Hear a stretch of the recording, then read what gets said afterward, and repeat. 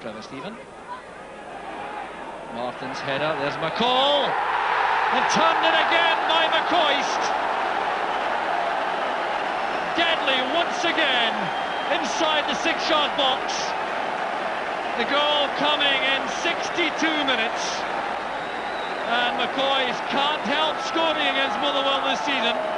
Once again, in just the right place. Corner kick initially. Dykstra caught in two minds, but Martin did well. Then McCall thumped the ball in. There was McCoist.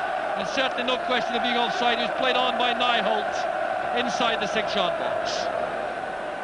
Well, a real mountain to climb now for Motherwell. And McCoist certainly relishing this visit to Fir Park again.